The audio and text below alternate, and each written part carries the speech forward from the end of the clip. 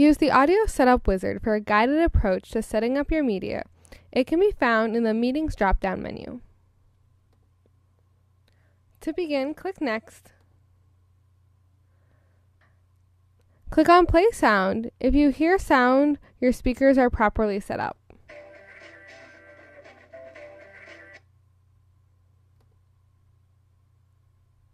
Next, select the microphone you would like to use from the drop down menu.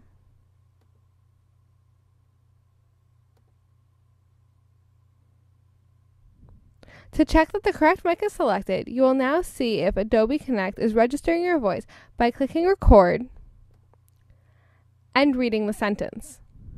If you see the bar moving, you know the correct mic is selected. Click Stop. Click the Play Recording button to make sure the audio is not distorted. and reading the sentence. If you see the bar moving, you know the Make sure during the text silence portion of the setup you are silent so the system can properly reduce background room noise.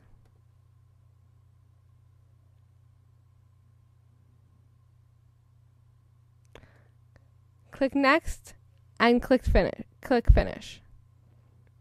You should now be properly configured for a meeting. For advanced troubleshooting, right click and click Settings.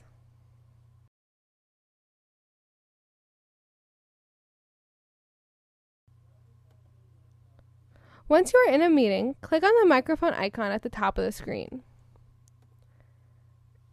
It will turn green once activated, and little bars will show registering your voice.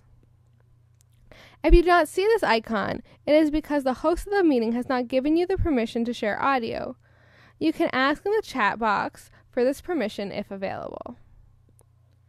The best way to avoid feedback loops or echo during the Adobe Connect meeting is to use headphones or noise canceling audio devices like these.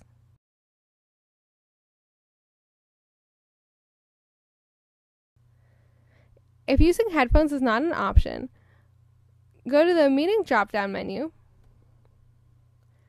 and click on Preferences. Go to Audio. Make sure Use Enhanced Audio check box is checked. Click Full Duplex and Fast from drop down menus. If you are still experiencing problems, please visit mediaservices.wustl.edu for more information.